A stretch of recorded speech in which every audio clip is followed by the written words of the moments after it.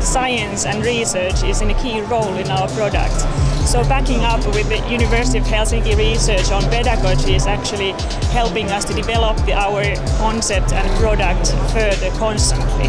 We do uh, artificial skin, and that's a uh, that's a highly complex product, uh, and, and there's a lot of uh, wound care products, but really solving those fundamental issues, uh, the, how the skin works, is very essential, and it, it requires a lot of uh, knowledge from different fields. Science creates the new the new innovations, creates all the possibilities that can be then developed further into into businesses.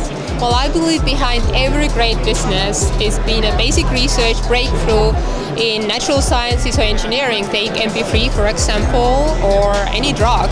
And of course, you can also save the world with that. It's, it gives us like a competitive edge on having something that is extremely hard to replicate, extremely hard to copy, and so we can then uh, profit from that.